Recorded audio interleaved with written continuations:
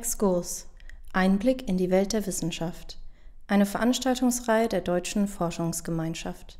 Sie hören den Vortrag Revolution am Himmel. Die neuen Superteleskope von Professor Jochen Liske. Gehalten am 26. März 2019 in der Bayerischen Staatsbibliothek in München. Heute soll es um äh, Superteleskope gehen und ich habe mir relativ viel vorgenommen, äh, relativ viel Material, weil es einfach so wahnsinnig viel zu erzählen geht. Und äh, damit es trotzdem alles irgendwie in die Zeit passt, habe ich beschlossen, einfach die Einführung wegzulassen. Äh, Sie sind ja sowieso wahrscheinlich als äh, äh, Experten in der Astrophysik schon. und deswegen gehe ich mal gleich hier in, in Medias Res, will ich mal gleich einsteigen und mit dem ersten Thema beginnen. Der erste Punkt, den ich heute Abend ähm, Ihnen mitgeben möchte, ist der, dass eben, obwohl die Astronomie mittlerweile äh, ja doch eine recht alte Wissenschaft ist, wenn nicht sogar die älteste Wissenschaft äh, ist äh, überhaupt, ähm, sind wir immer noch, ist die Astronomie immer noch äh, wissenschaftshistorisch gesehen immer noch in einer Entdeckerphase. Wir wissen, dass wir noch längst nicht alles gesehen haben, was es da draußen im Universum zu sehen gibt. Und dazu möchte ich, um das zu illustrieren, möchte ich im Prinzip äh, nur mal zwei Dinge ansprechen, die wir ähm, in den letzten 20, 25 Jahren äh, herausgefunden haben. Okay, 20 Jahre sind jetzt nicht unbedingt die letzten fünf Jahre, aber wissenschaftshistorisch gesehen natürlich doch eher äh, äh, äh geradezu gestern. Das erste Thema sind Exoplaneten, sogenannte extrasolare Planeten, also Planeten außerhalb unseres Sonnensystems, die um andere Sterne herumkreisen. Der erste solche extrasolare Planet um einen normalen Stern ist erst 1995 ähm, entdeckt worden. Äh, und mittlerweile kennen wir ähm, äh, Tausende davon. Ähm, es gibt hier diese schöne Illustration, äh, die ich als nächstes zeigen möchte. Das ist, äh, sieht ein bisschen farblich, ein bisschen gruselig aus, aber was ist das? Was ist hier? Das sind äh, einige der Entdeckungen von dem Kepler Weltraumteleskop das jede Menge Tausende von Planeten gefunden hat. Und was hier dargestellt ist, sind einfach nur, wie diese Planeten um ihre Muttersterne kreisen äh, äh sind natürlich auch einige Systeme entdeckt worden, wo es mehrere Planeten gefunden worden sind äh, und die Größe äh, stellt ungefähr auch die Masse der, dieser Planeten dabei. Alles, was ich hier illustrieren will damit, ist, dass wir wirklich Tausende von Planeten äh, entdeckt haben und das in nur 20 Jahren. Wir haben sogar Planeten entdeckt, die der Erde sehr, sehr, sehr ähnlich sind. Ja, das ist eines der besten Beispiele hier eine, ein, ein, Planet, der eine, einen Stern umkreist, der nur etwa 10% größer ist als die Sonne. Äh, dieser Planet ist etwa nur 1,6 Mal, äh, hat er etwa die Größe der, ähm, der Erde und umkreist die Sonne, seinen Mutterstern, auch in einer in der äh, sogenannten habitablen Zone. Da kommen wir später nochmal drauf, ähm, drauf zu sprechen. Also extrasolare Planeten und die Möglichkeit, womöglich auf einem solchen Planeten nach Leben zu suchen, das ist eine Entwicklung erst der letzten 20 Jahre. Anderes Thema. Kosmologie, springen wir ans ganz, ganz andere Ende der Welt. Wir haben sicherlich alle schon mal gehört, dass das Universum sich ausdehnt. Das hat Edwin Hubble in den 1920er Jahren äh, entdeckt. Ähm, und seitdem äh, ging es natürlich sehr viel darum, herauszufinden, wie genau diese Ausdehnungsgeschichte des Universums denn äh, vonstatten gegangen ist. Und in diesem Zuge ist in den äh, späten 90er Jahren herausgekommen, dass die Ausdehnung des Universums sich beschleunigt. Sie findet, geht immer schneller vonstatten. Und das ist extrem merkwürdig. Warum? Naja, auf diesen ganz großen kosmologischen Skalen ist die einzige physikalische Kraft, die, die dort wirkt, ist Schwerkraft, Gravitation. Und Gravitation ist ja nun mal immer nur anziehend. Deswegen äh, sollte sich die Ausdehnung des Universums eigentlich verlangsamen. Denn was passiert da? Naja, die ganze Materie im Universum, alles zieht an allem und äh, sollte eigentlich diese Ausdehnung verlangsamen.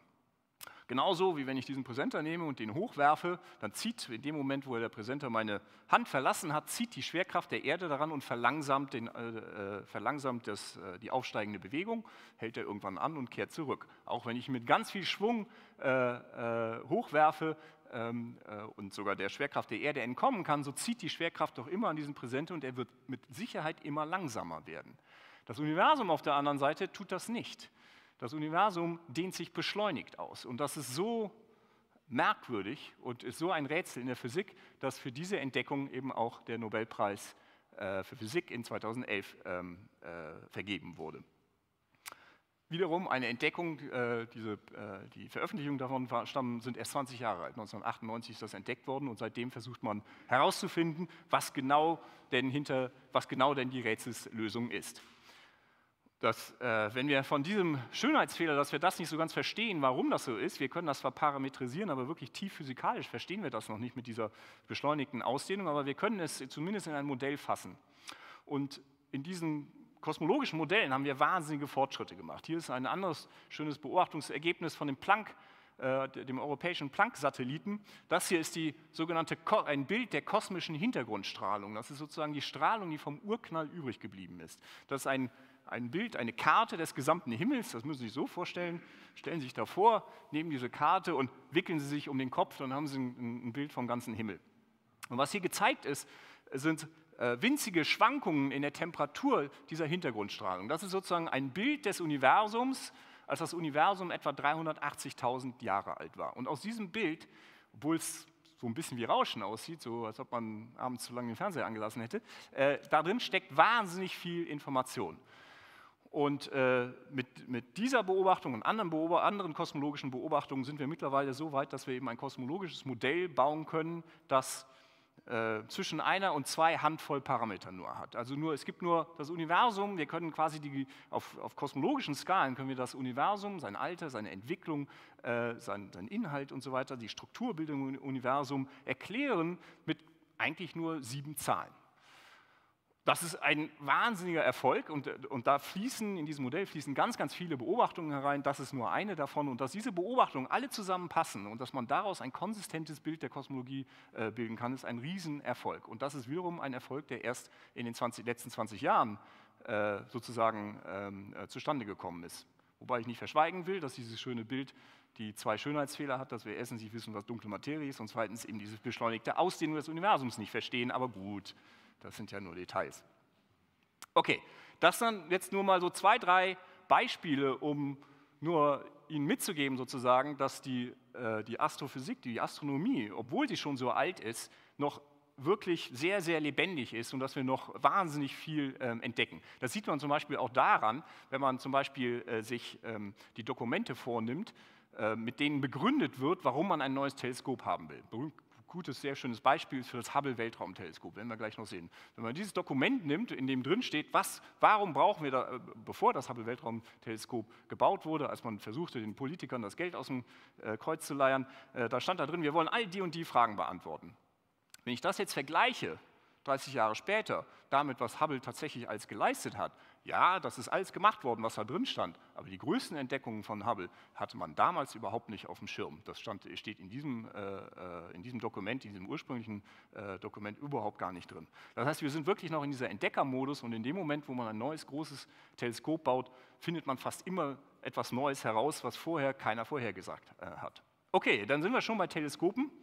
Ähm, das Teleskop ist mittlerweile über 400 Jahre alt und äh, dieser Herr hier, Galileo Galilei, äh, äh, wird generell als derjenige genannt, der das damals gerade neu erfundene Teleskop zum ersten Mal an den Nachthimmel gerichtet hat. Und so ziemlich alles, was er damals gesehen hat, hat alles auf den Kopf gestellt, was man damals glaubte, über das Universum äh, zu wissen. Nicht? Die Phasen der Venus, die Sonnenflecken haben gezeigt, dass dass die Sonne eben kein perfekter, keine perfekte Sphäre ist. Äh, die Jupitermonde hat vier, vier die galileischen Monde um den Jupiter äh, entdeckt, die gezeigt haben, dass es auch ein anderes Zentrum der Bewegung gibt als die Erde und so weiter und so fort. In den letzten 400 Jahren ist natürlich wahnsinnig viel passiert. Äh, kann jetzt nicht die ganze Geschichte des Teleskops durchgehen. Hier mal ein paar Beispiele. Hier das berühmte Hooker 100 Zoll Teleskop, mit dem Hubble damals die Ausdehnung des Universums entdeckt hat. Äh, dann das Hale 200 äh, äh, Zoll Teleskop, das für viele Jahrzehnte das größte Teleskop der Welt war. Und heute wir, haben wir solche Dinger hier, ein eins der Teleskope des Very Large Telescopes, ein 8,2 Meter Teleskop, also mit einem Spiegel, Hauptspiegeldurchmesser von 8,2 Metern. Und wenn ich, äh, das ist nur eins von vieren, so sehen die vier von außen aus. Äh, das ist äh, die Paranal-Sternwarte der europäischen Südsternwarte, die hier in Garching ihr, ihren Hauptsitz hat.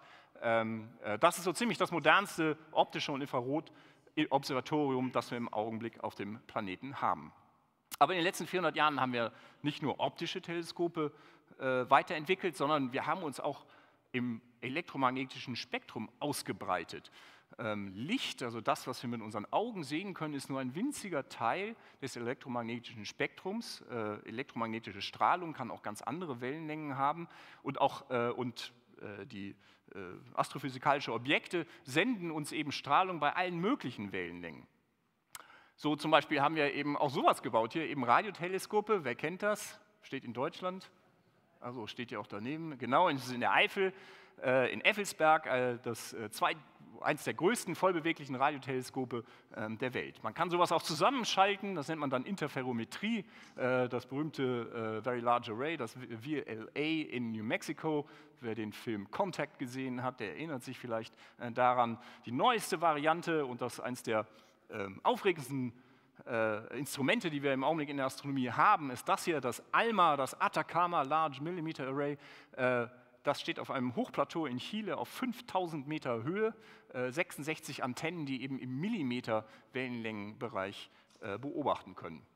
Aber das Spektrum ist noch viel größer. Nun haben wir allerdings das Problem, dass unsere Erdatmosphäre nur für bestimmte Wellenlängen durchlässig ist, nämlich für das optische Licht für, das Radio, für die Radiowellen, ein bisschen hier im Infrarot, aber der Rest, äh, äh, äh, für, für den, den, Rest des Spektrums ist die Atmosphäre undurchlässig. Das ist natürlich auch ganz gut so, wenn die Erdatmosphäre durchlässig wäre für Röntgenstrahlung oder harte UV-Strahlung, dann wäre das extrem unangenehm für uns äh, und für die Entwicklung des Lebens, dann hätte es das wahrscheinlich gar nicht äh, gegeben. Aber auch äh, in, bei diesen Wellenlängen äh, senden astrophysikalische Objekte Strahlung aus und wenn man die beobachten will, naja, dann bleibt mir nichts anderes übrig, als ein Teleskop zu nehmen und es über die Atmosphäre zu liften. Also Weltraumteleskope. Bevor wir aber zu den Weltraumteleskopen kommen, man kann es auch noch eine Nummer kleiner äh, knüppern, äh, dann sieht das so aus. Äh, das hier ist äh, Sophia, ein deutsch-amerikanisches Projekt, ein Teleskop in einer kurzen 747 da DLR, die Deutsche Luft- und Raumfahrtgesellschaft und die NASA, das ist eine Kooperation daraus. Und das, da macht man hier an der Seite, das Ding fliegt auf etwa 13 Kilometer Höhe und dann macht man auf der Seite die Luke auf und guckt mit einem zwei, immerhin zweieinhalb Meter großen Teleskop äh, hier raus. Äh, also eine ganz, ähm, nicht das erste Teleskop dieser Art, hat es früher auch schon mal gegeben mit dem Kuiper Observatory, aber äh, das ist äh, auch eine sehr spannende Sache. Aber wie gesagt, wenn man äh, äh, wenn man es richtig macht, dann geht man natürlich dann in, in den Weltraum.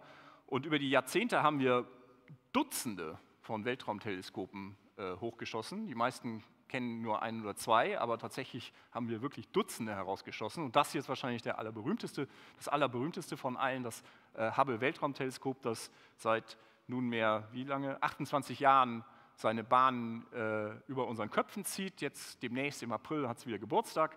Äh, und es funktioniert immer noch, selbst nach 28 Jahren. Und ähm, äh, fünfmal ist das Space Shuttle hochgeflogen und hat es sozusagen erneuert und rund erneuert. Äh, aber so langsam neigt sich die Lebensdauer des Hubble Weltraumteleskops im Ende zu.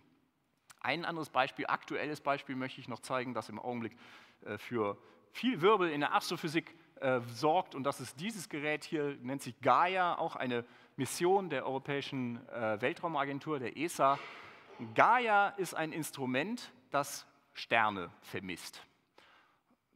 Hört sich jetzt erstmal nicht so spannend an, aber was Gaia tatsächlich macht, ist, es, äh, es nimmt Sterne und äh, bestimmt, na klar, die Position am Himmel, das ist noch relativ einfach, aber auch die Entfernung, dass ich eine Position, also 3D im Raum habe und auch die Bewegung dieser Sterne dreidimensional im Raum. Also ich habe die Position und die Geschwindigkeiten.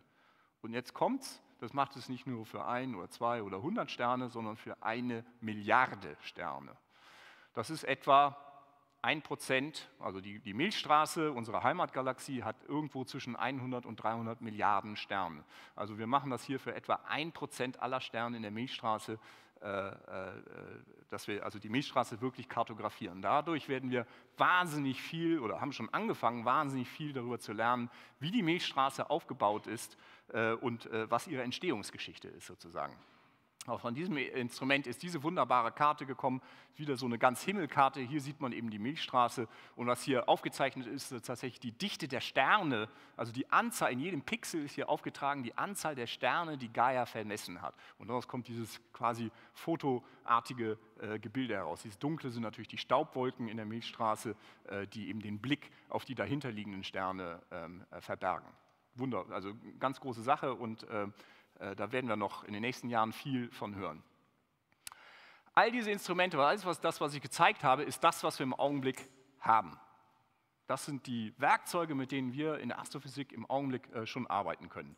Wir haben also äh, jede Menge Teleskope am Boden, wir haben jede Menge Teleskope in der Luft. Zum Teil sind die schon gar, sind die nicht mehr aktiv hier, das ist nicht mehr ganz so aktuell hier dieser äh, dieser Chart hier, aber äh, trotzdem bei vielen verschiedenen Wellenlängen äh, und äh, große Teleskope am Boden. Und diese Kombination äh, aus Teleskopen und diese ähm, äh, Zusammensetzung, diese, diese Fähigkeit, wirklich das gesamte elektromagnetische Spektrum einzusetzen, um astrophysikalische Objekte äh, zu studieren. Das hat so in den 90er Jahren äh, eingesetzt, als die ersten 10, 8 und 10 Meter Teleskope äh, sozusagen ans Netz gingen. Da hat das so eingesetzt. Und das hat dazu geführt, was der ein oder andere Autor Autor dazu verführt hat, die derzeitige Ära als das goldene Zeitalter der Astronomie zu bezeichnen. Diesen Ausdruck hat es auch schon früher gegeben, das wurde auch schon auf frühere Zeitalter äh, äh, verwendet. Ähm, äh, aber man kann durchaus der Meinung sein, dass so ab der Mitte, Ende der 90er und in den in sozusagen die letzten 20 Jahren wirklich eben ein goldenes Zeitalter der Astronomie waren. Eben neue Teleskope, die, mit denen wir wahnsinnig spannende Dinge, wirklich fundamentale Dinge herausgefunden haben, wie zum Beispiel eben Exoplaneten, wie diese beschleunigte Ausdehnung des Universums, die eben sich kein Mensch erklären kann.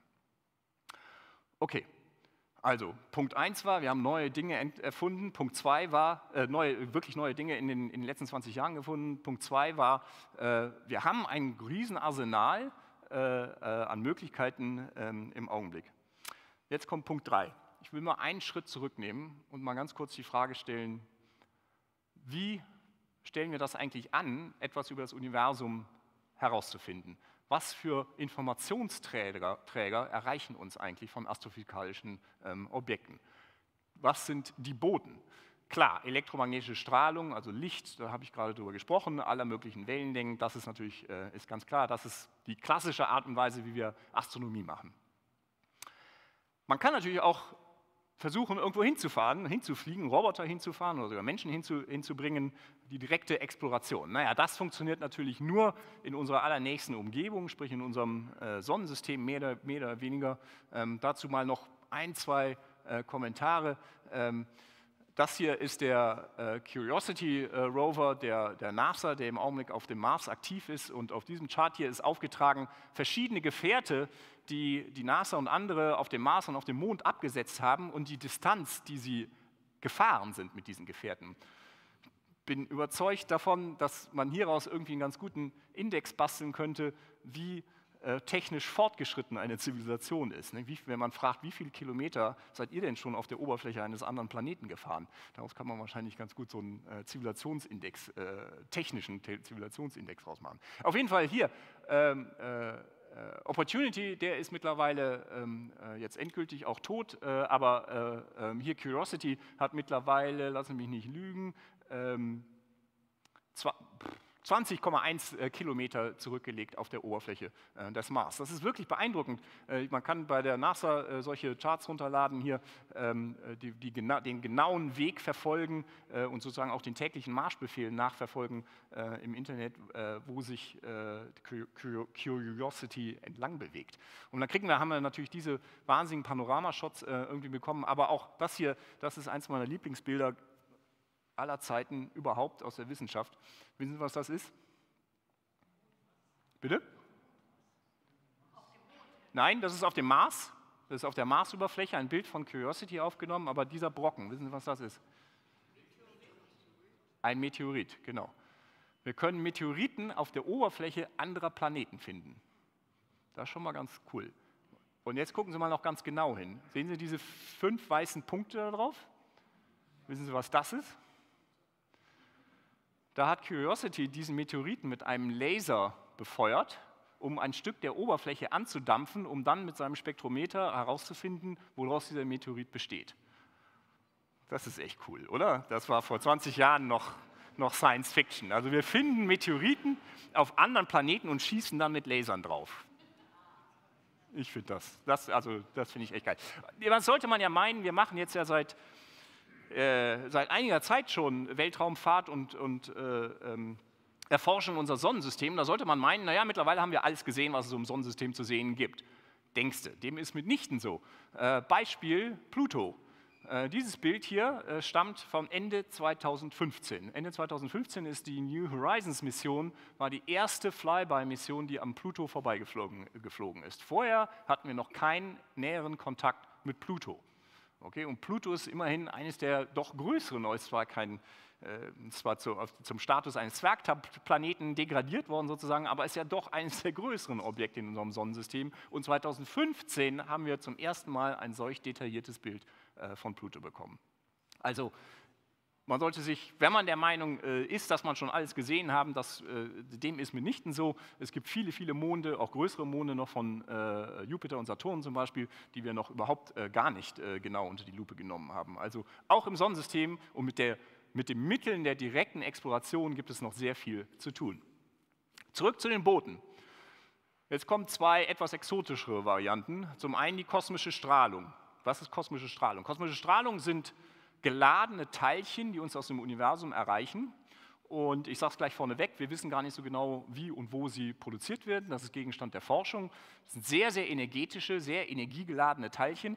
Äh, und wo die eben herkommen, wissen wir nicht genau.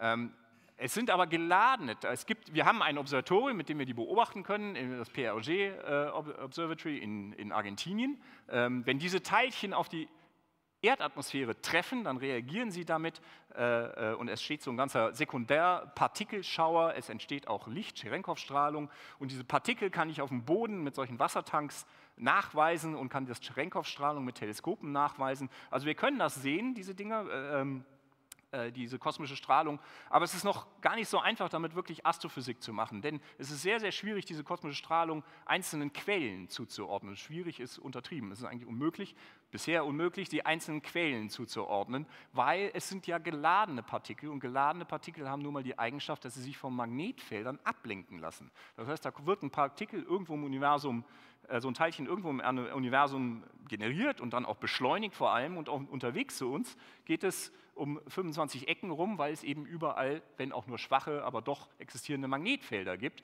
Und somit sich, werden die abgelenkt und die ursprüngliche Richtung, woher es kam, oder die ursprüngliche Richtung, aus der ich es empfange, ist nicht die Richtung unbedingt, aus der dieses Teilchen kam. Deswegen ist es mit, noch relativ schwierig, mit kosmischer Strahlung ähm, Astrophysik zu machen, aber natürlich meine Kollegen aus der Astroteilchenphysik, das ist natürlich deren täglich Brot, sich damit zu beschäftigen, woher die kommen und welche Mechanismen es gibt, die äh, diese Teilchen auf diese enormen Energien äh, beschleunigen können. Dann gibt es noch Neutrinos. Neutrinos sind etwas geisterhafte Teilchen, die fast keine Masse haben, nur ein kleines bisschen äh, Masse haben ähm, und die aber vor allem die Eigenschaft haben, dass sie so gut wie mit nichts interagieren. Okay? Ähm, in jeder Sekunde, jetzt habe ich die Zahl schon wieder vergessen, ich gucke sie immer nach und dann vergesse ich sie immer wieder, äh, in jeder Sekunde gehen durch jeden Quadratzentimeter ihrer Haut Tausende, wenn nicht Zehntausende von Neutrinos. Und sie merken nichts davon. Die merken nichts davon, weil diese Teilchen weder mit ihrer Haut noch mit sonst irgendwas in ihrem Körper interagieren. Diese Teilchen sind so geisterhaft, dass sie quasi durch die gesamte Erde, ja sogar durch einen gesamten Stern hindurchfliegen können, als ob das nichts wäre, als ob dieser Stern komplett durchsichtig wäre. Das liegt eben daran, dass diese Teilchen Neutrinos eben an keiner der normalen Kräfte eben äh, teilhaben, sondern nur an der sogenannten schwachen Wechselwirkung. Und wie der Name schon sagt, diese, diese Kraft ist eben sehr, sehr schwach. Das birgt natürlich, diese Eigenschaft von Neutrinos birgt natürlich in sich, dass sie wahnsinnig schwierig nachzuweisen sind. Ähm, aber wir haben ein Neutrino-Observatorium, äh, und zwar am Südpol. Äh, das nennt sich Ice Cube. Da ist ein Kubikkilometer Eis oder äh, geschmolzen worden sozusagen und da sind diese Fäden eingezogen worden und an diesen Fäden hängen solche, äh, Moment, hängen solche Kugeln, in denen Fotodetektoren sind, also Lichtdetektoren. Und die Idee dabei ist, dass man eben ein Neutrino, das durch dieses, äh, Kubikkilometer Eis durchquert, das eben ab und zu von den Millionen von Neutrinos, die da eben äh, durchflirren, ab und zu eben doch mal eins mit einem Eismolekül mit einem Wassereismolekül interagiert, dabei Cherenkov-Strahlung produziert und dann eben diese Strahlung eben hier nachgewiesen äh, werden kann. Das funktioniert auch. Wir haben schon viele Neutrinos oder einige Neutrinos nachgewiesen, aber wenn ich jetzt viele sage, sind wirklich, äh, sie sind noch zählbar, also so viele sind es nicht. Ursprünglich hatten die alle Namen, äh, die Neutrinos, die man so detektiert hat, äh, aber die, eine der berühmtesten waren Ernie und Bert. Aber äh, mittlerweile äh, ja, haben die keine Namen mehr. Aber wiederum ist es nicht so ganz einfach, eben diesen äh, äh Neutrinos, äh, die, äh, die, die, Quelle wirklich ähm, dingfest zu machen und zu, und zu, sagen, dieses Objekt ist verantwortlich für die Neutrinos, die wir sehen. So langsam kommen wir dahin. Erste Erfolge hat es da kürzlich gegeben, aber nochmal, das ist noch immer sehr, sehr schwierig, damit Astrophysik zu machen. Und dann kommen wir noch zu einer äh, anderen Methode oder zu einem anderen Boden, einem anderen Informationsträger, und zwar den Gravitationswellen. Das hat auch kürzlich große Wellen geschlagen und auch kürzlich den, einen äh, Nobelpreis gegeben äh, in der Physik. Wenn ich zwei sehr kompakte Objekte habe, die sich einander umkreisen, wie zum Beispiel zwei schwarze Löcher, dann senden diese Löcher sogenannte Gravitationswellen aus. Was sind Gravitationswellen? Naja, das sind im Prinzip Wellen in der Raumzeit. So ganz genau müssen Sie es gar nicht verstehen. Sie können sich schon vorstellen, einfach äh, quasi wie Wellen auf der Oberfläche eines, äh, eines Teichs, nur dass es eben nicht wirklich ein Medium ist, auf die, in dem sich diese äh, Wellen ausbreiten, sondern eben die, die, die Raumzeit äh, selbst. Dieser Effekt ist von Albert Einstein, ist ein Effekt der allgemeinen Relativitätstheorie, also wurde von Albert Einstein schon vorhergesagt. Als er das aber ausgerechnet hat, äh, wie groß denn dieser Effekt sein würde, hat er den, den, den, den Stift fallen lassen und hat sozusagen gesagt, äh, der Effekt ist so winzig, winzig klein, das wird nie irgendjemand äh, beobachten können. Was genau passiert denn, wenn so eine Gravitationswelle durchkommt? Das ist jetzt hier alles natürlich extrem äh, äh, dargestellt. Naja, wenn ich, ich stelle mir jetzt vor, dass eine Gravitationswelle hier durch den Screen äh, durchgeht, dann streckt und staucht sie den Raum äh, äh, periodisch. Nicht? Also wenn jetzt so eine Gravitationswelle durch mich hindurchgehen würde, dann würde ich größer und schmal, noch schmaler werden und zwischendurch breiter und äh, und Dings. So, wenn ich das also äh, so darstelle, hier kommen die Gravitationswellen an von irgendeinem äh, paar äh, schwarze Löcher, die hier drüben sich einander umkreisen, dann würde das sozusagen die Erde sozusagen äh, hier so ein bisschen so ähm, in Schwingung versetzen. Das Problem dabei ist, das ist hier extrem übertrieben dargestellt. Die Erde ist 6000 Kilometer im Durchmesser. Jetzt frage ich mich also, wie groß ist denn dieser Effekt, dieses Stauchen und diese Strecken? Wenn ich die Erde als Detektor benutzen könnte, die also 6000 Kilometer im Durchmesser, äh, im, im, Radius ist, dann wäre der Effekt oder die, die, die, die, äh, die Größe, die durch diese Erde gestaucht und gestreckt werden würde, beträgt 0,1 Prozent der Größe eines Atoms. Okay, das ist dann der Punkt, wo man als Experimentalphysiker seine sieben Sachen packt und sich was anderes sucht, weil das erscheint aberwitzig, zu versuchen, versuchen zu wollen, einen so derartig winzigen Effekt zu finden. Also relativ gesprochen ist dieser Effekt größenordnungsmäßig so bei 10 hoch minus 21. Okay? Äh, die Tatsache, dass es tatsächlich Leute gibt, die das äh, äh, ähm, äh versucht haben, experimentell zu ähm, äh, nachzuweisen, das ist wirklich enorm. Wir haben in den 95, äh, oder diese, die Geschichte der Gravitationswellendetektion ist eine sehr, sehr lange und die Leute, die daran gearbeitet haben, sind wirklich, kann man wirklich mit Fug und Recht behaupten, dass das sehr, sehr hartnäckige Leute sind. Wie macht man denn das? Naja, man benutzt so einen, einen Laserinterferometer, also man nimmt, hat hier eine, einen Laserstrahl, den splittet man auf, äh, schickt ihn in zwei Arme, die 90 Grad voneinander äh, äh, so, äh, getrennt sind. Am Ende steht jeweils ein Spiegel, dann schickt man das Licht zurück und wenn die Licht ist ja auch, kann ich auch als elektromagnetische Welle beschreiben. Und wenn diese Wellen so aufeinandertreffen, dass sich äh, Lichtberge und Täler aufeinandertreffen, dann äh, sozusagen äh, gibt es eine sogenannte negative äh, Interfer Interferenz, eine destruktive Interferenz und man sieht gar nichts. Wenn sich das aber äh, so verschiebt, dass äh, Berge auf Berge und Täler auf Täler treffen, dann ist das eine konstruktive Interferenz und ähm, dann sieht man sozusagen Licht. Ähm, und genau das macht man, wenn jetzt also eine Gravitationswelle von oben hier drauf äh, trifft, dann streckt sie eben den einen Arm und staucht den anderen Arm, sodass eben die Wellen periodisch, die, die Wellen des, des Lichts periodisch gegeneinander verschoben werden. Und wenn ich sie dann eben zusammenbringe, ne, dann verschiebe ich die so, mal sehe ich Licht, mal sehe ich kein Licht. Das ist die Art und Weise, das sozusagen das grundlegende Prinzip, wie ich eben diese Gravitationswellen ähm, äh, nachweisen kann. Direkt nachweisen kann. Und das hat man gemacht in den USA, äh, hat man zwei solche Dinger gebaut. Hier sieht man diese beiden Arme, die sind vier Kilometer lang. Äh, LIGO, Laser Interferometry Gravitational Wave Observatory nennen die. Eins steht in äh, äh Louisiana und eins in, in Washington State.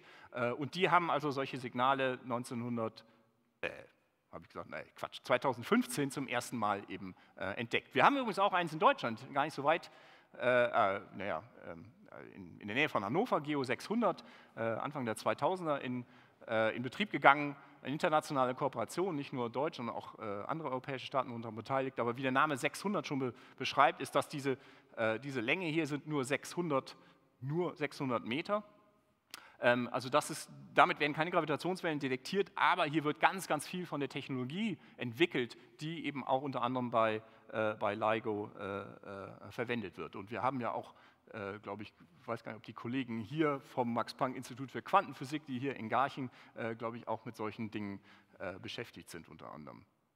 Das sind die Daten, die eben gesehen worden sind in Hanford, also in Washington und in, äh, in Livingston. Das sind diese äh, beiden Daten. Achso, ich sollte noch erklären, was man da sieht, ist wirklich nur den allerletzten Moment der schwarzen Löcher, wie sie sich umkreisen.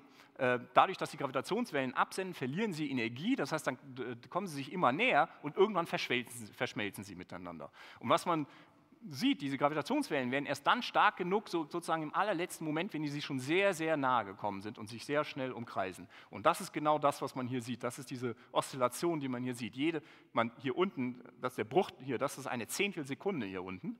In einer Zehntelsekunde habe ich zwei schwarze Löcher, die sich umkreisen, in einer Zehntelsekunde. Und wupp, hier sind sie miteinander verschmolzen. Die Amplitude wird immer höher, die Frequenz wird immer höher und dann hier sind sie miteinander verschmolzen und dann verschwindet das Signal. Und die beiden Signale sind um einen Bruchteil einer Sekunde voneinander verschoben, klar, weil die Gravitationswelle erst in einen Detektor äh, in dem, im Nordwesten der USA und dann den anderen Detektor erreicht hat.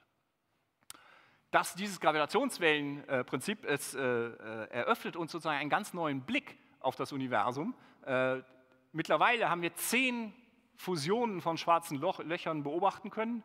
Also haben die Kollegen, die LIGO das beobachten können. Das sind die Massen, also wir reden hier von schwarzen Löchern, die so zwischen 20, also einigen zehn Sonnenmassen auf die Waage bringen und miteinander verschmelzen. Das sind extrem energetische Events. Die Energie, die in diesen äh, Gravitationswellen ausgestrahlt wird, ist riesengroß und doch sind sie für im elektromagnetischen Licht vollkommen unsichtbar. Keiner dieser Verschmelzungsevents könnte sich ja vorstellen, dass das irgendwie eine riesen Explosion geben würde oder irgendwie noch was anderes da passiert. Aber Tatsache ist, keiner dieser Events, und wir haben, weiß Gott, danach gesucht, ist mit normalen Teleskopen sichtbar gewesen. Das heißt, mit diesen Gravitationswellen sehen wir einen Teil des Universums, der uns bisher vollkommen verschlossen gewesen ist. Wir öffnen hier, haben hier ein neues Fenster aufgestoßen auf das Universum und sehen hier Phänomene, das ist wieder das, was ich am Anfang gesagt habe. Es gibt noch jede Menge Phänomene im Universum zu sehen, von denen wir bisher noch keine Ahnung hatten. Ja? Allerdings, ein Beispiel hatten wir sehr wohl. Wir hatten nicht nur schwarze Löcher, die sich miteinander verschmelzen, sondern wir hatten auch ein Event, wo zwei Neutronensterne miteinander verschmolzen sind. Und diese Verschmelzung, die haben wir sehr wohl mit anderen Teleskopen gesehen. Ähm, denn bei so einer solchen Verschmelzung, hier ist eine Simulation wiederum, kommt es sehr wohl zu so einer Art explosiven äh, äh Ausdehnung. Achtung, boom. Das ist die Strahlung, halt, da entstehen solche Jets und sehr heißes Plasma und so weiter. Und das generiert eben elektromagnetische Strahlung, die wir dann mit unseren Teleskopen eben sehen können. Hier ist die Galaxie, in der dies, das, was wir da gerade in der Simulation gesehen haben, äh, entstanden sind. Und hier sieht man eben in sichtbarem Licht sozusagen äh, äh, diesen äh, Event, der wirklich zeitgleich passiert ist mit der Detektion der Gravitationswellenlängen. Dieses eine Event ist von all diesen Observatorien auf der Welt gesehen worden, von den Gravitationswellendetektoren in Amerika. Wir haben übrigens auch einen in Norditalien, Virgo stehen, ein europäisches Projekt, und auch mit diesen Weltraumteleskopen. All diese Teleskope haben diesen einen Event gesehen. Und das ist sozusagen eines der, oder der, was jetzt hier passiert, bei diesem Neutronenstern-Event. Wir haben den gleichen Event, zwei Neutronensterne, die miteinander verschmelzen, haben wir gesehen, sowohl in Gravitationswellen als auch in elektromagnetischer Strahlung. Das heißt, es ist jetzt zum ersten Mal, dass wir das gleiche Objekt mit verschiedenen Booten durch verschiedene Informationsträger gesehen haben. Das ist sozusagen die Geburtsstunde einer neuen Art von Astronomie. Ich habe vorhin von den verschiedenen Wellenlängen gesprochen in der Astronomie. Ganz früher, in den 50er Jahren, da waren Astronomen noch sehr stark, man war entweder ein optischer Astronom oder man, man, man war ein Radioastronom äh, äh, und da war man noch sehr stark getrennt. Das hing mit den Beobachtungsmethoden zusammen, da gab es diesen Wellenlängenchauvinismus noch. Ähm, äh, das ist dann sozusagen in den 80er Jahren und 90er Jahren ist das dann äh, runtergebrochen worden. Heute kommen, glaube ich, nicht mehr sehr viele Leute, Astronomen auf den Gedanken, sich als, Radio, nur als reiner Radioastronom zu bezeichnen. Also gab, in den 80er, 90er Jahren war sozusagen die Geburt der, der Multiwellenlängenastronomie. Was wir jetzt hier erleben, ist die Geburt der Multi-Informationsträger, der Multi-Messenger-Astronomie. Dass wir also nicht mehr nur mit Licht verschiedener Wellenlängen, sondern tatsächlich mit, mit all diesen verschiedenen Informationsträgern anfangen, Astrophysik zu machen und über das gleiche Event oder das gleiche astrophysikalische Objekt etwas herauszulesen. Okay? Also, kleiner Zwischenstand. Wir entdecken noch immer Dinge oder wir sind uns ganz sicher, dass das Universum noch ganz viele Dinge und sehr interessante, grundlegende physikalische Dinge zu bieten hat, die wir noch nicht gesehen haben. Wir haben noch längst nicht alle Phänomene im Universum gesehen, die es zu sehen gibt. Ähm, wir haben ein Riesenarsenal an, äh, äh, an Multiwellenlängen, äh, ähm, Instrumenten, um damit das Universum zu beobachten. Und was jetzt in den letzten zehn Jahren auch noch hinzugekommen ist, ist eben die Möglichkeit, das Universum eben auch mit diesen anderen Informationsträgern äh, zu beobachten. Also das ist diese Multi-Messenger-Astronomie, von der ich eben gesprochen habe. Also das sind Entwicklungen, die genau jetzt stattfindet und die in den nächsten 20 Jahren ähm, äh, ganz steil nach oben gehen wird und wo wir noch sehr, sehr viel äh, rausfinden werden. So, was ich jetzt aber doch noch machen möchte, ist wieder zurückkehren irgendwie zu der guten alten elektromagnetischen Strahlung, zum, zum guten alten Licht und ihn ein bisschen äh, näher bringen, ein paar von den Projekten eben näher bringen, äh, mit denen wir äh, die klassische Astronomie auch äh, eben nach vorne bringen wollen. Nochmal einen ganz kleinen Schritt zurück. Was können wir überhaupt über Licht messen? Naja, wir können messen, woher es kommt. Wir können seine Ankunftszeit messen. Wir können seine Intensität messen, wie hell ein Objekt ist, wie viel Licht uns erreicht pro Zeiteinheit. Wir können seine Energie messen oder auch seine Wellenlänge oder Frequenz. Und wir können seine Polarisation messen. Das, egal, vergessen Sie das, brauche ich gar nicht zu erklären. Und worum es eigentlich geht in der, in der Astronomie, in der beobachtenden Astronomie, ist, worum es geht, ist diesen beobachtungstechnischen Parameterraum sozusagen so gut wie möglich auszuschöpfen. Ein, ein Teleskop kann immer nur Teile hiervon messen oder einen Teil dieses Raums messen. Also nehmen wir zum Beispiel Energie. Ich habe eben gesprochen, das elektromagnetische Spektrum geht von den, äh, äh den, den, den Röntgen- und noch, noch härteren Strahlen, den Gammastrahlen, bis hin halt äh, zum Radiowellenlängenbereich. Für diese verschiedenen Bereiche brauche ich verschiedene Technologien, verschiedene äh, Teleskope. Ich kann nicht diesen gesamten, das gesamte Energiespektrum mit einer einzigen Technologie und mit einem Teleskop abdecken. Man muss sich halt immer einen Teil daraus äh, äh, herausschneiden aus diesem Parameterraum und damit dann Physik machen.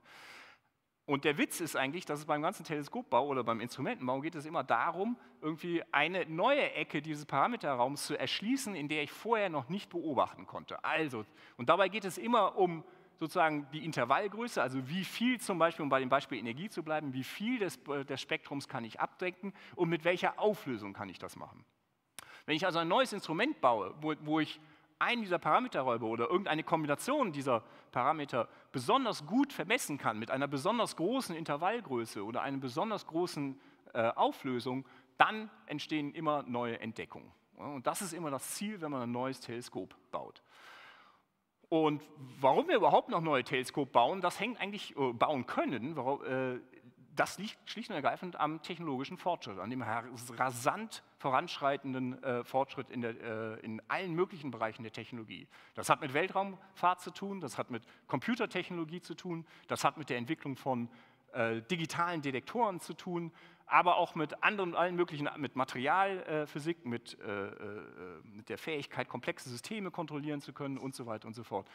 Diese Technologie, die eben äh, voranschreitet mit ähm, äh, ne, das berühmte Moore's Law, alle 18 Monate äh, verdoppeln sich die, äh, die Fähigkeiten in der digitalen äh, Welt so weiter. Da hängen wir in der Astrophysik, natürlich auch andere Wissenschaften, aber in der Astrophysik eben ganz stark, da hängen wir ganz unmittelbar dran. Und äh, diese, wir profitieren da eben ganz unmittelbar und können dann eben unsere, wenn, wenn es neue Technologien gibt, dann eben unsere äh, neue Beobachtungstechnologien eben auch daraus entwickeln und somit einen neuen Teil dieses Beobachtungsraums sozusagen erschließen und dadurch neue astrophysikalische Phänomene finden.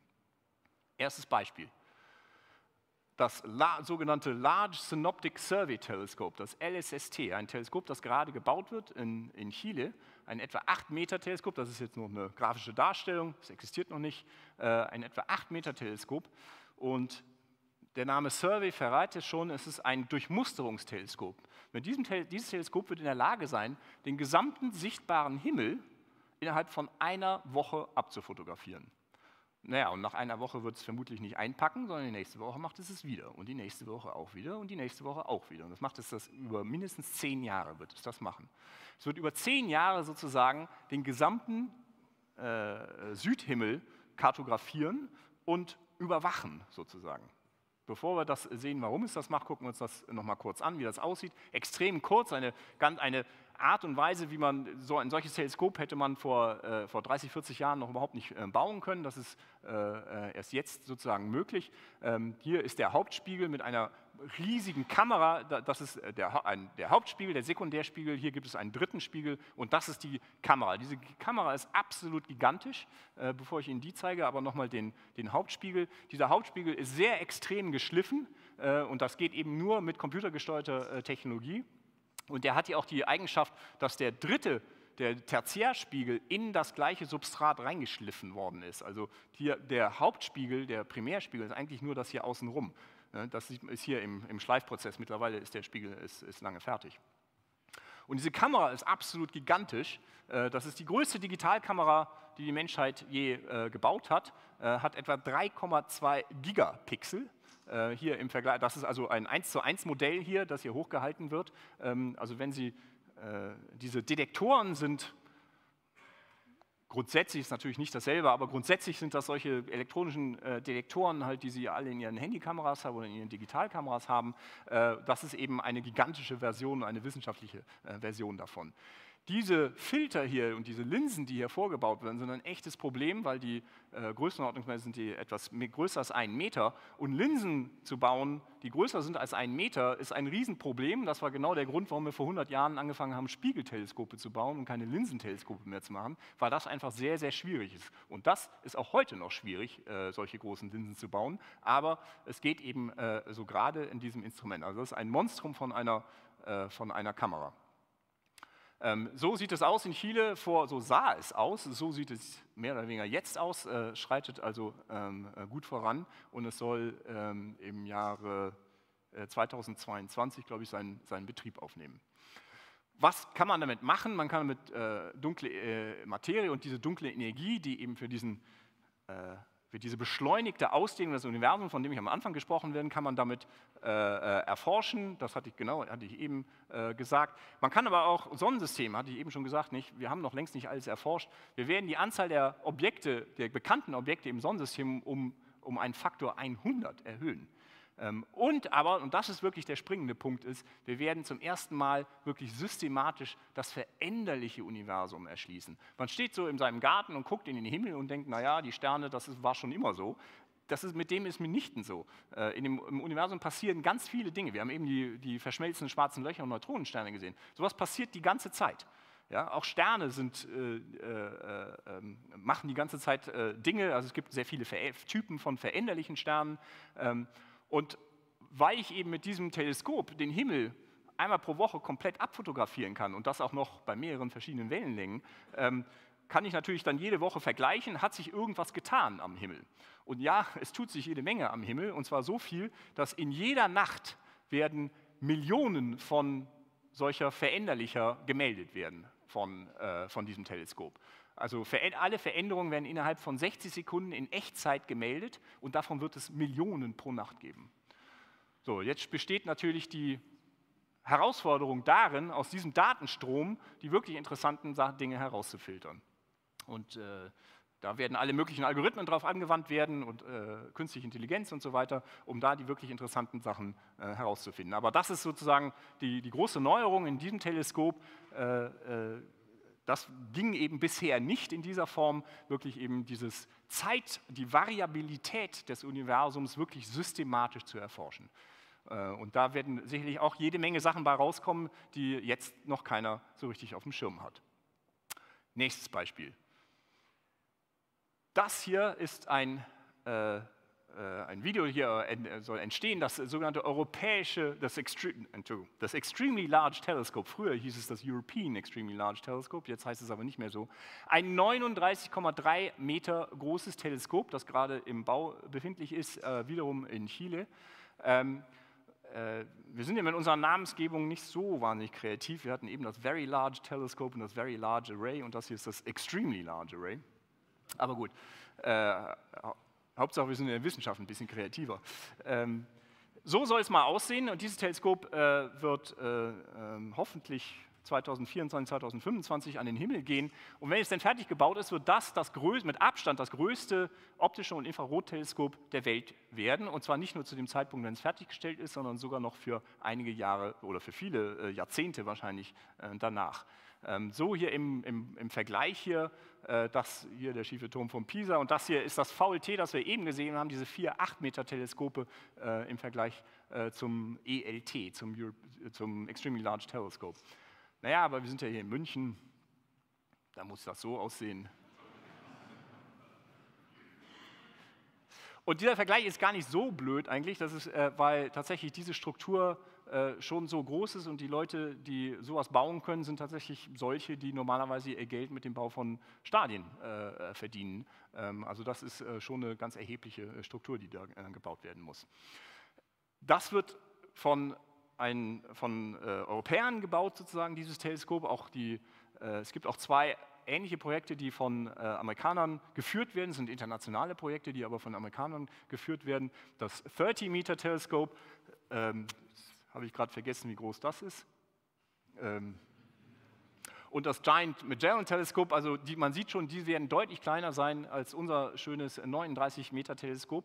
Äh, da können wir äh, als Europäer hoffentlich stolz drauf sein. Das wird das, das LSST, das ich eben schon gezeigt habe, äh, hier mal äh, im Vergleich. Aber diese neue Generation an, an eben extrem großen Teleskopen, äh, die ist jetzt äh, schon im Bau. Das nur mal hier so im Vergleich, das ist ein sehr schönes Chart hier. Das ist das ELT, der Hauptspiegel, das ist ein Vergleich hier der Spiegelfläche von verschiedenen Teleskopen. Das ist das ELT, das ist das äh, TMT, das 30-Meter-Teleskop, das auf Hawaii gebaut wird. Ähm, und da, die alle an, fast alle anderen hier sind die, die bereits im Augenblick existieren. Ähm, hier drüben ist übrigens das Hubble-Weltraumteleskop. Ein sehr kleines Teleskop. Ähm, da, hier ist das, äh, das VLT, die 4 8 Meter Spiegel. Das hier sind so die größten, die wir im Augenblick haben. SALT, ein 10 Meter Teleskop, Keck und das GTC auf, in, äh, in ähm, auf La Palma, auf den Kanarischen Inseln. Äh, das sind die größten 10 Meter Teleskope. Die Lichtsammelfläche des ELTs ist so groß wie die gesamte Lichtsammelfläche aller existierenden Teleskope zusammengenommen. Wir werden also mit dem ELT mit einem Schlag unsere Lichtsammelkapazität verdoppeln. Das ist enorm. Äh, in der Vergangenheit ist man eigentlich immer in der Größe, wenn man ein größeres Teleskop gebaut hat, ist man immer so um Faktor 2 größer geworden. Jetzt gehen wir einen Faktor 4 äh, in die Größe. Äh, nur weil es so schön ist und weil es einfach diese tollen Videos geht, fliegen wir mal noch ganz kurz da rein. So soll es bald aussehen. Nur um nochmal ein Gefühl für die Größe geben, 39 Meter Teleskop, nicht, man sollte so halbes Fußballfeld, das ist so die Größenordnung, in der man, in der man, in der man denken sollte. In dieser Struktur hier sind etwa 3000, werden 3000 Tonnen äh, Stahl verbaut werden, die in der Kuppel drumherum nochmal etwa so viel äh, an Stahl.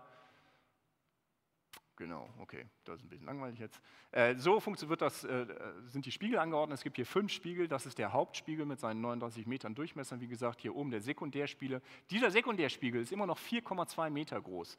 Das ist etwa die Größe von Teleskopen aus der vorigen äh, Generation von Teleskopen. Also die jetzige Generation ist 8 bis 10 Meter, die Generation davor war etwa 4 Meter.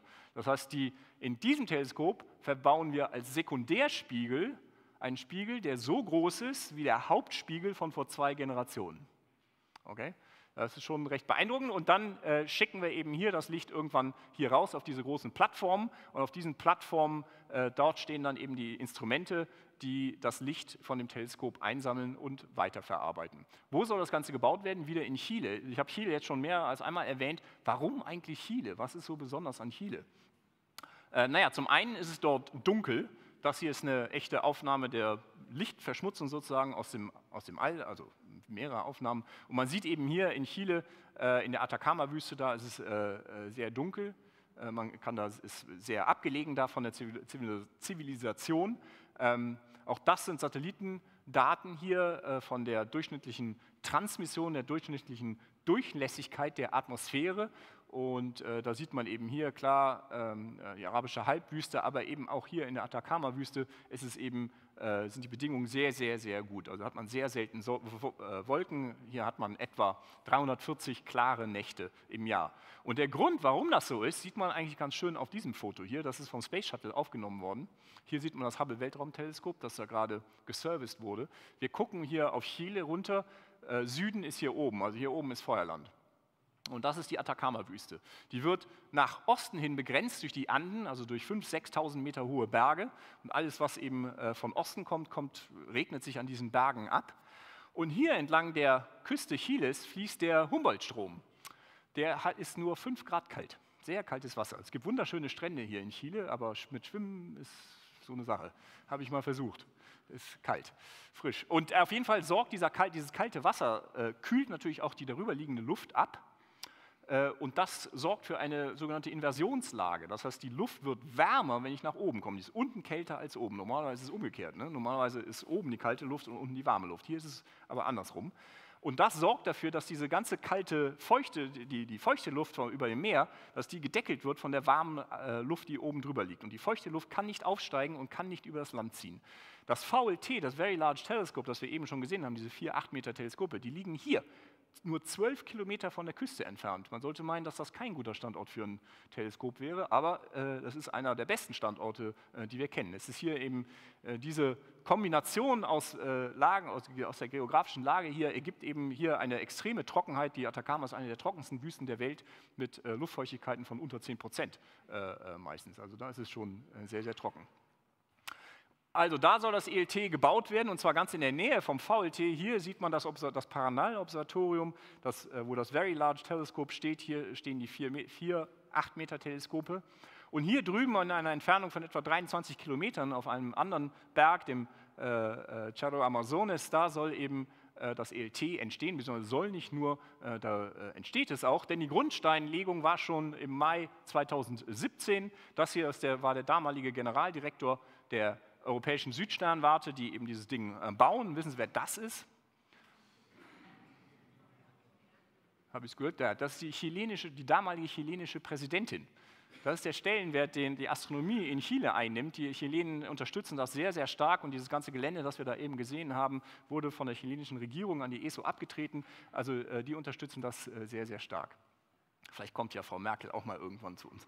Mal den so sieht es auf diesem Berg mittlerweile aus. Da ist eine neue Straße, das ist der alte Ziegenpfad sozusagen, der, der hochgeht. Hier ist eine neue Straße gebaut worden und hier sieht man jetzt schon die Fundamente, die da entstehen. Der Berg ist ein Kopf kürzer gemacht worden. Der war ursprünglich 3064 Meter hoch, jetzt ist er nur noch 3046 Meter hoch. Äh, äh, und das musste eben passieren, um eine Fläche von etwa zwei Fußballfeldern Größe da herzustellen, eine ebene Fläche, um eben sowohl das Fundament beherbergen zu können, als auch eben die ganzen Bauaktivitäten. Wenn man meint, das alles spielt sich nur im fernen Chile ab, denkst du, das hier ist auf den Straßen von Mainz vor nicht allzu langer Zeit, denn in Mainz hat Schott seine Werke oder Teil seiner Werke und äh, was man hier sieht, ist eben den, äh, den äh, Sekundärspiegel, den wir, von dem ich eben schon gesprochen habe, der eben in Mainz gegossen wurde äh, und dort ähm, diverse Phasen, Bearbeitungsphasen äh, noch durchläuft, aber das passiert eben äh, jetzt schon gerade hier in Deutschland. Also das Ding ist im Bau. Jetzt wollte ich noch zwei Dinge zu dem Teleskop sagen zwei technische Sachen sozusagen. Das eine ist, mit seinen 39 Metern Durchmesser ist dieses Teleskop natürlich viel zu groß, um das aus einem Stück Glas zu machen. Das geht nicht. So ein großes Stück naja, die werden sowieso nicht aus Glas gemacht, aus Glaskeramik werden diese Spiegel hergestellt, aber so ein großes Stück äh, äh kann ich daraus nicht bauen. Deswegen, man sieht das hier schon, äh, ist dieser Spiegel eben äh, segmentiert. Also er wird aus diesen, aus äh, insgesamt 798 Einzelteilen zusammengesetzt. Die sind sechseckig, etwa 1,40 Meter groß und nur 5 cm dick. Äh, und die sind, haben ihre eigenen Formen sozusagen und die muss man eben so zusammenfügen, damit sie als Ganzes einen einzigen Spiegel ergeben. Das ist gar nicht so ganz einfach. Jedes einzelne dieser Teile, hier sieht man einige Prototypen, äh, äh die sind alle einzeln aufgehängt. Wir haben 27 Kontaktpunkte und die können hoch und runter geschoben werden, die können um zwei Achsen gedreht werden und sie können sogar in sich ganz leicht äh, verformt werden. Und das, all diese Technologie, das brauche ich eben, um eben diese perfekte Spiegelform eines einzelnen Spiegels eben hinzukriegen. Äh, das ist das der weltlangweiligste Video. Äh, das ist schon im Zeitraffer aufgenommen, aber das war das erste Mal, als man so ein äh, äh, als wir diese Elemente kontrollieren konnten. Hier sieht man Sensoren, wo, wo eben jedes Segment sozusagen seinen Nachbarn äh, mit feststellen kann, wo genau sein Nachbar, sein Nachbar liegt. Also Segmentierung ist das eine. Das andere ist, hat damit zu tun, ganz originär damit zu tun, warum wir eigentlich größere Teleskope bauen wollen. Naja, ich habe eben schon mal angesprochen, die Lichtsammelkapazität, die Lichtsammelfläche ist klar. Je größer mein Teleskop ist, desto mehr Licht pro Zeiteinheit kann ich einsammeln und desto sensibler, desto sensitiver ist mein Teleskop, also desto lichtschwächere Objekte kann ich sehen. Aber der andere Grund ist, dass, ich, dass die Schärfe eines Bildes, die ich mit ein, das ich mit einem Teleskop machen kann, dass diese Schärfe von der Größe des Teleskops abhängt. Je größer mein Teleskop, desto schärfer sind die Bilder, die ich damit machen kann. Das ist geometrische Optik. Das ist, dem, da kann man nicht drum rumgehen. Okay, prima, mache ich, baue ich ein größeres Teleskop, kriege ich ein schärferes Bild. Äh, nicht ganz. Denn es gibt einen kleinen Störfaktor und dieser kleine Störfaktor, wir hatten ihn eben schon mal angesprochen, dieser kleine Störfaktor ist die Erdatmosphäre, diese dünne Schicht Luft. Von der Erdoberfläche aus ins Weltraum zu gucken, in den Weltraum zu gucken, ist ein bisschen so, als säße man auf dem Boden eines Schwimmbads und guckt nach draußen. Wenn die Oberfläche des Schwimmbads nicht perfekt still ist, dann sieht man die Außenwelt verzerrt. Und genauso ist es mit der Erdatmosphäre auch. Ähm, wenn Sie nachts, falls Sie einen Garten haben äh, oder auf der Straße stehen und in den Himmel gucken und dann sehen Sie die Sterne und dann sehen Sie die Sterne funkeln. Richtig? Hat jeder schon mal gesehen. Das Funkeln hat mit den Sternen überhaupt nichts zu tun. Sterne funkeln nicht. Was da funkelt, sind die Störungen, was dieses Funkeln erzeugt, sind Turbulenzen in der Erdatmosphäre, die das Bild des Sterns verzerren. Das lässt das Bild, dieses, diese Turbulenzen in der Erdatmosphäre, die äh, dafür sorgen, dass verschiedene Luftpakete haben einen verschiedenen optischen Brechungsindex und das lässt das Bild des Sterns so ganz minimal hin und her tanzen. Und das nimmt man als Funkeln wahr. Was das zur Folge hat, ist, dass wenn ich eine lange Belichtungszeit habe, ist, dass mein Bild verschmiert wird. Es wird weniger scharf, als es eigentlich sein könnte. Und tatsächlich ist es so, dass bei großen Teleskopen heutzutage ist der limitierende Faktor ist nicht die Größe des Teleskopes, sondern der limitierende Faktor, wie scharf mein Bild sein kann, ist die Atmosphäre, ist dieses, dieses, dieser Verschmierungseffekt, der durch Turbulenzen in der Atmosphäre erzeugt wird. Ah, Moment, aber wenn das so ist, dann lohnt es sich überhaupt nicht, größere Teleskope zu bauen. Wenn ich schon am Limit bin, mit meinen jetzigen Teleskopen schon am Limit bin dessen, was möglich ist, warum soll ich dann noch ein größeres Teleskop bauen? Ah, die Antwort ist, dass wir dagegen was unternehmen können. Und diese Technologie, das nennt sich die, das ist die adaptive Optik und das funktioniert ungefähr so. Hier kommt also das Licht eines Sterns und hier werden diese Wellen werden hier verzerrt und der Stern springt, das Bild des Sterns springt hin und her. Jetzt nehme ich das Signal und nehme einen Computer, äh, das eigentlich wollte ich das jetzt mal pausieren. Moment. So, jetzt habe ich einen Spiegel irgendwo in meinem Strahlengang. Und zu Anfang der, war der Spiegel perfekt flach. Und so jetzt kommen hier diese verzerrten Wellenfronten an. Und dann, wenn der Spiegel perfekt flach ist, dann äh, ist nach der Reflexion sind die äh, Wellenfronten noch genauso verzerrt. Das heißt, der Stern springt immer noch genauso hin und her. Jetzt habe ich aber einen Computer, der sich das Bild dieses Sterns anguckt und genau analysiert, wie der Stern hin und her springt. Und daraus kann man errechnen, wie ich meinen Spiegel zu verformen habe. Ich habe hier hinten solche Stempel dran, solche sogenannten Aktuatoren, mit denen ich den Spiegel ganz minimal verformen kann. Das ist natürlich völlig übertrieben dargestellt hier. Der wird nur ganz minimal wird der verformt. Und zwar genau so, dass nach der Reflexion all diese Verformungen hier herausgenommen worden sind. Dass ich dann diese perfekten parallelen Wellenfronten habe und diese parallele Wellenfronten entsprechen eben einem perfekt stabilen Bild. Geht's, äh, nee, nochmal zurück. Spielen. Ähm, diese Technik äh, passiert in Echtzeit, während man beobachtet. Das ist nicht irgendwas, was man im Computer hinterher macht, das ist kein Post-Processing oder irgendwie sowas, sondern es passiert in Echtzeit, während man äh, beobachtet. Also jetzt hier wird, ist der Spiegel zuerst gerade, jetzt wird er verformt, jetzt kommen hier diese geraden Wellenfronten raus. Wenn ich das also einstelle sozusagen, dann hat das diesen Effekt. Und das ist zwar eine Simulation hier, aber in echt sieht es tatsächlich genauso aus. Man sitzt, äh, steht, äh, wenn man am Teleskop äh, sitzt und man sieht das, das, das Bild eines Sterns, sieht man so hin und her tanzen und dann wird das eingeschaltet, die, die Kontrollschleife sozusagen wird geschlossen und dann bang steht das, steht das Bild perfekt da. Und damit kann ich sozusagen diese Turbulenzen, diese Verzerrungen der Atmosphäre rückgängig machen. Wir können damit die Sterne entfunkeln sozusagen. Und dadurch ist es überhaupt erst möglich, wirklich das, das Auflösungsvermögen eines solch großen Teleskops überhaupt tatsächlich nutzen zu können. Es nur, geht nur mit dieser Technologie.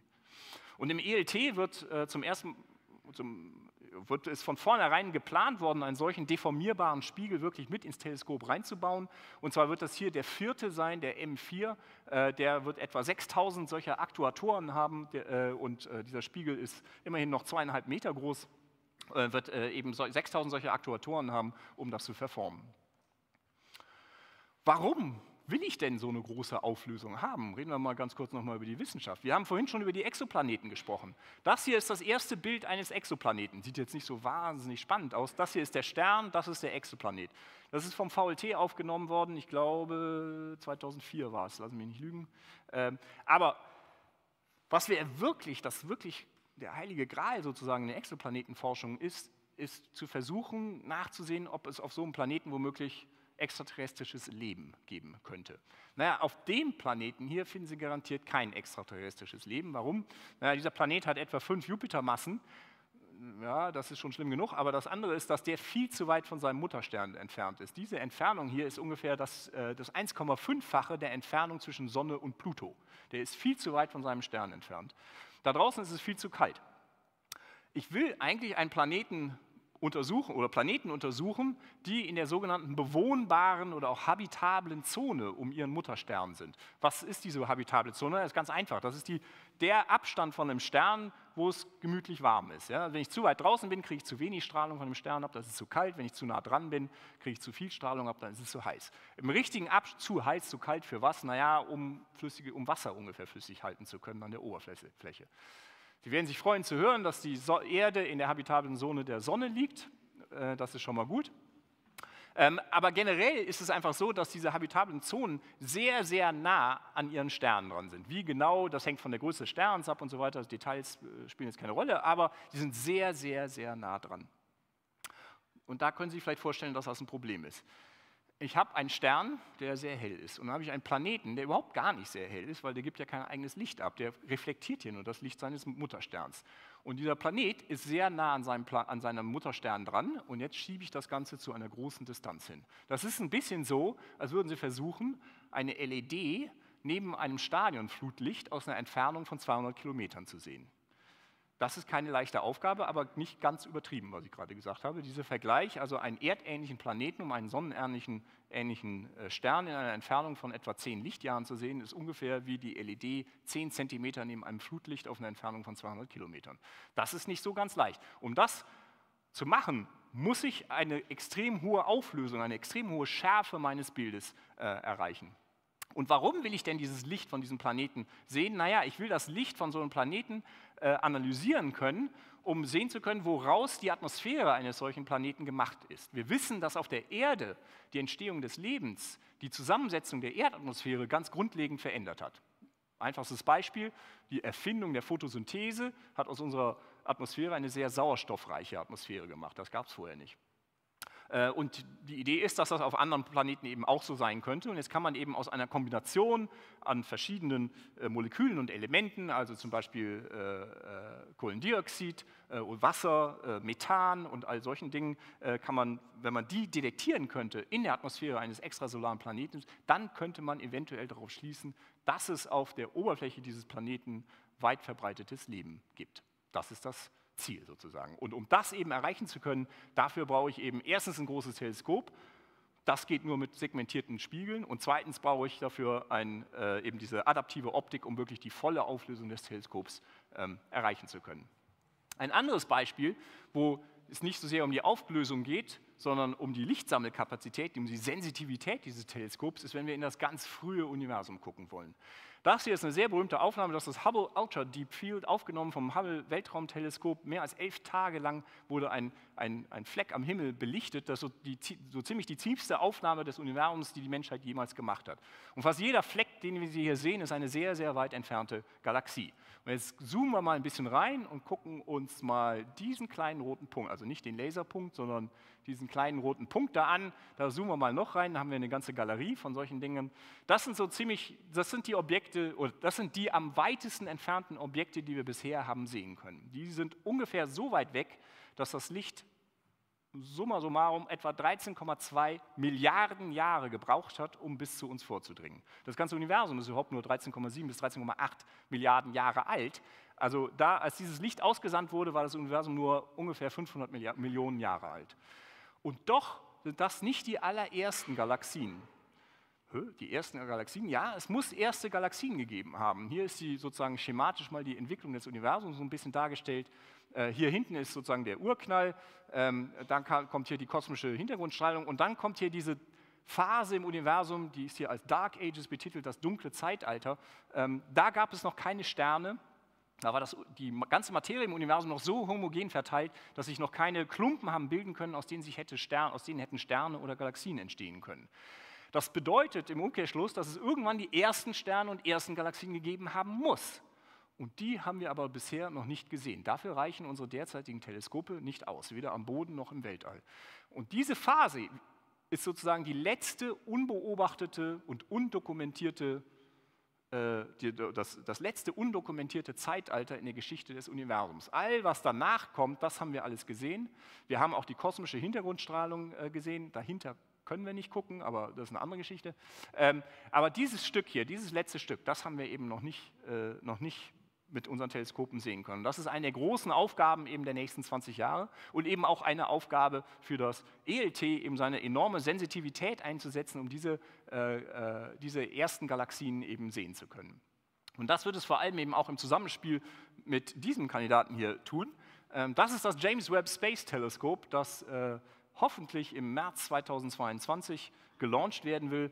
Oft wird es betitelt als der Nachfolger des Hubble-Weltraumteleskops. Ist es nicht wirklich, ist ein bisschen anders, aber ähm, äh, ein sechseinhalb Meter großes Teleskop ähm, mit diesen, äh, diesem Sonnenschutz hier hinten. Es schützt sich durch die, von der Strahlung der Sonne, denn es ist ein, es ist ein Infrarotteleskop und äh, das, die, die Wärmestrahlung der Sonne schadet oder äh, man, man, will das Teleskop davor schützen, sich selbst aufzuheizen, dann würde es sich selbst sozusagen blenden und deswegen hat es hier diese, diese äh, äh, Sonnenschein. Man sieht hier auch, dass es äh, segmentiert ist. Ähm, ganz kurz zum, zum äh, hier der, der, Vergleich mit, der, mit, mit Hubble. Äh, das ist JWST wird eben 6,5 Meter groß sein im Vergleich zu diesen 2,4 Metern und es wird vor allem eben im Infrarotwellenlängenbereich äh, beobachten. 6,5 Meter ist ein bisschen ein Problem. Haben Sie schon mal eine Rakete gesehen mit 6,5 Meter Durchmesser? Ich nicht. Äh, das ist in der Tat ein Problem, deswegen muss man das Ding zusammenfalten, um es in eine Ariane packen zu können, denn es wird auf eine Ariane gelauncht werden, hoffentlich. Das heißt, es wird in diesem zusammengefalteten Zustand nach oben geschickt. Da dreht sich jedes Mal, wenn ich das sehe, dreht sich mir der Magen um, weil natürlich, wenn es zusammengefaltet ist, muss es sich im Weltall entfalten. Und das ist eine dermaßen komplexe Prozedur, bei der so viel, verschieden, so viel schief gehen kann, dass mir ganz schlecht wird. Ähm, nicht? Also das ist ungefähr die Schritte, die passieren müssen. Ähm, da entfaltet sich jetzt, entfalten sich die Sonnensegel. Und wenn auch nur einer dieser Schritte daneben geht, ist es das Ende. Denn anders als Hubble fliegt dieses Weltraumteleskop nicht in 600 Kilometer, also sehr nah um die Erde herum, sondern, wenn wir gleich sehen, bei einer Entfernung von 1,5 Millionen Kilometer. Das ist also ähm, etwa ein, ein Prozent der Entfernung zur Sonne. Also es ist wirklich weit, äh, weit weg. Die Tatsache, dass sich die Ingenieure das trauen für ein Astronomieprojekt, sagt mir, dass sie das schon mal gemacht haben. Wahrscheinlich gibt es solche Teleskope schon längst, weil die amerikanischen Militärs, denke ich, oder Geheimdienste werden wahrscheinlich sowas schon haben. Die gucken natürlich in die andere Richtung, nach unten. Aber die Tatsache, dass sie sich das trauen für ein Astronomieprojekt, sagt mir, die trauen sich das deshalb, weil sie wissen, dass sie es können, weil sie es schon mal gemacht haben. Wie gesagt, 1,5 Millionen Kilometer entfernt, hier im Lagrange-Punkt 2, da wird dieses Teleskop äh, äh, sich befinden. Okay, allerletzter Punkt. Haben Sie noch? Können Sie noch? Ein Punkt noch. Eine Sache würde ich noch erzählen, weil das ist echt cool. Ähm, schwarze Löcher haben wir ja eben. In jedem guten Vortrag muss immer ein schwarzes Loch vorkommen. Eben hatten wir ja schon welche, aber jetzt nochmal äh, was. Das hat hier auch einen großen Bezug eben hier äh, zu, nach München und nach Garching. Ähm, wir wissen schon seit einer ganzen Weile, dass es schwarze Löcher geben muss, äh, die in den Zentren von Galaxien, da werden solche enormen Mengen freigesetzt an Strahlung, dass äh, das mit normaler Sternentstehung nicht zu erklären ist. Äh, da muss es supermassive, sehr große schwarze Löcher geben, die eben Materie anziehen in großen Akkretionsscheiden, um sich versammeln und das so aufheizen, das Gas, dass da eben diese enorme Strahlung herauskommt. Aber der beste Beweis, dass es wirklich schwarze Löcher gibt, ist der folgende. Das ist die Milchstraße, wie man sie aus der Atacama-Wüste sieht. Und jetzt zoomen wir da mal rein. Und was eben äh, Kollegen gemacht haben, äh, eben unter anderem äh, hier aus Garching, aber auch in Amerika äh, gemacht haben, sie sind über Jahre, Jahrzehnte, seit mittlerweile mehr als 25 Jahren, äh, haben sie Aufnahmen vom Zentrum unserer Milchstraße gemacht, also wirklich von dem Herz unserer Gal Galaxie. Und wenn man diese Aufnahmen dann zusammenfügt über die Jahrzehnte hinweg, kann man einen Zeitraffer-Film sozusagen daraus zusammenstellen. Und das werden wir jetzt hier gleich sehen, wenn wir fertig sind reinzuzoomen. Das versuche ich nur mal so darzustellen, was hier die Skalen eigentlich so sind. Ähm, wiederum dafür brauche ich eine sehr hohe Auflösung, möglichst hohe Auflösung, um eben wirklich die Sterne dort im Zentrum der Galaxie auseinanderhalten zu können. So, jetzt haben wir hier diesen Ausschnitt. Und jetzt, das sind jetzt echte Daten, das ist keine Simulation, sondern das sind wirklich echte Daten. Was man jetzt hier sieht, sind Sterne, die sich bewegen aber die bewegen sich nicht irgendwie, sondern die bewegen sich, wenn man vor allem den hier verfolgt, sieht man ganz eindeutig, dass der sich auf hier so einer Ellipse bewegt. Genau wie die Keplerschen Gesetze vorhersagen, der bewegt sich um irgendetwas herum. Aus der Bewegung dieser Sterne kann man errechnen, wie viel Masse das Objekt hat, das dort umkreist wird. Genau, das, das ist überhaupt kein Mysterium, das ist gar nicht schwierige Physik, das ist genau wie im Sonnensystem aus der Bewegung der äh, Planeten kann ich die Masse der Sonne errechnen. Und die Antwort hier in diesem Fall ist, dass das Objekt, das dort umkreist wird, eine Masse hat von 4,2 Millionen Sonnenmassen. Das ist eine ganze Menge. Aber nicht nur das, ja, wo sind sie denn, die 4,2 Millionen Sonnenmassen? Ich sehe ja gar nichts da, da ist kein Punkt. Ähm, und nicht noch darüber hinaus, dieser Stern hier kommt diesem äh, zentralen Objekt sehr, sehr nahe. Das heißt, ich habe 4,2 Millionen Sonnenmassen, die sich sehr kompakt arrangieren muss in einem sehr geringen kleinen Raum und das kein Licht abgeben darf. Und die Antwort dafür ist ein schwarzes Loch. Das ist sozusagen beste, äh, der beste Beweis dafür, dass wir hier im Zentrum unserer Milchstraße tatsächlich ein schwarzes äh, Loch haben. Hier ist der Nachweis immer noch so ein Tuck indirekt, in dem Sinne, dass wir eben nur die Bewegung der Sterne darum sehen. Wäre es denn nicht möglich, tatsächlich ein richtiges Bild von dem schwarzen Loch aufzunehmen? Ja klar, das schwarze Loch selbst ist natürlich schwarz, von dem selbst kann ich es natürlich nicht sehen, aber ich kann es ja irgendwie sozusagen als Schatten äh, äh, sichtbar machen. Und die Antwort dafür ist, ja, es geht, so gerade. Wie macht man das? Mit dem sogenannten Event Horizon Telescope. Event Horizon ist der Ereignishorizont, so nennt man die Grenze eines schwarzen Loches. Das ist die Grenze, wenn Sie außerhalb sind, sind Sie draußen. Wenn Sie jenseits des, dieses Ereignishorizonts sind, dann sind Sie drinnen und kommen auch nie wieder raus. Ja, der Ereignishorizont ist eine Grenze, die man nur in eine Richtung überschreiten kann, überschreiten kann, nämlich nur rein. Raus kommen Sie nie wieder. Deswegen auch nicht mal ein Lichtteilchen kommt raus, deswegen ist ein schwarzes Loch schwarz. Wie kann ich das beobachten? Naja, ich brauche dafür ein Teleskop von enormer Auflösungskraft, denn dieses Ding ist so ein Ereignishorizont, obwohl es 4,2 Millionen Sonnenmassen hat, ist dieses Ding sehr, sehr klein. Der, der, der, äh, die Ausdehnung am Himmel ist etwa nur 10, äh, 10 Mikro, also 10 Millionstel Bogensekunden. Was ist jetzt schon wieder eine Bogensekunde? Der Mond, der Vollmond, hat 30 Bogenminuten im Durchmesser. Eine Bogenminute hat 60 Bogensekunden und davon ein Millionstel. Das ist die Ausdehnung des schwarzen Lochs im Zentrum unserer Galaxie. Also dafür brauchen Sie eine wirklich große, hohe Auflösung. Wie geht das? Das geht nicht mal mit dem, mit, äh, mit dem ELT.